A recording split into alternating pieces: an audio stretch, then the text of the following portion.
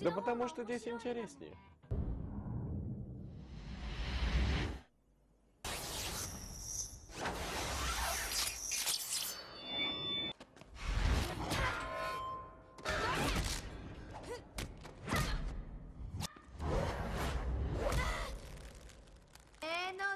Я ненавижу тебя. Ну